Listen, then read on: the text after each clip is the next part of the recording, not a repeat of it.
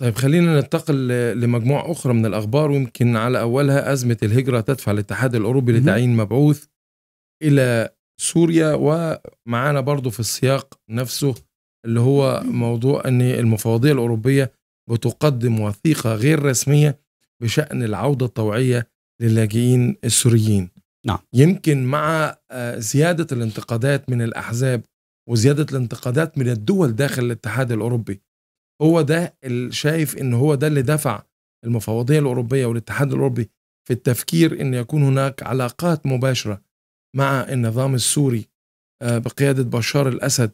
ومعاه كمان لما المفوضية الأوروبية تقدم وثيقة إن ممكن آه، يكون هناك حلول أو اقتراحات كيفية عودة اللاجئين مرة أخرى إلى سوريا والعراق.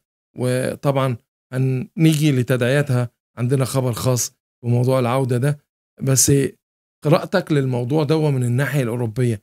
هل الاتحاد الأوروبي يمكن أن يكون هناك علاقات جادة وحماية خاصة للعائدين من الاتحاد الأوروبي لسوريا أو العراق؟ يعني يعني صراحة أستاذ ممدوح هذا موضوع يطول جدا وموضوع معقد للغاية. ولكن خلينا نقرأه نحن بشكل استراتيجي كما يقال ماشي؟ نعم.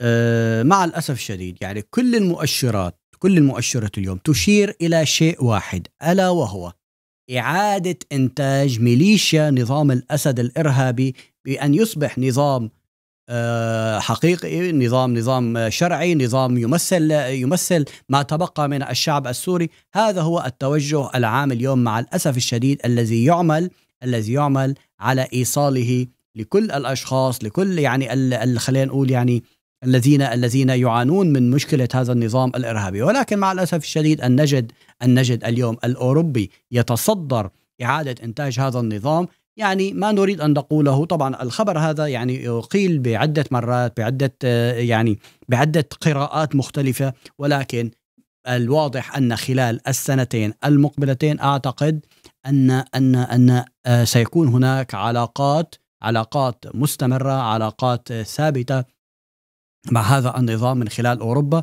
آه، متأكد أن النمسا ستكون مبادرة كما بادرت إيطاليا وأرسلت وأرسلت رئيس مخابراتها إلى دمشق لدراسة الوضع. والنمسا لديها السفير الدائم آه، آه، كينيتو كراوس. أعتقد كراوس في سفير النمسا في في دمشق. لكان في دمشق موجود بشكل دائم ويبحث دائما هذه العلاقات ويعمل على إيجاد حل لأن يقولوا للسوري لن تحصل على اللجوء مجددا. لذلك أعيد وأكرر كما كررناها عشرات المرات من خلال منبر حديث النمسا أنه يجب على كل سوري حصل على حق اللجوء إن كانت إقامة دائمة ولا مؤقتة ولا أي شيء أن يعمل على أن يعمل يتعلم صحيح. اللغة أن يعمل أن يسارع للحصول على الجنسية النمساوية عسى ولعل أن تكون هي يعني الحامي له من خلال آه، معادلة الابتزاز والانتهازية التي يحاول الاتحاد الأوروبي ممارستها من أجل من أجل التقارب مع نظام الإرهاب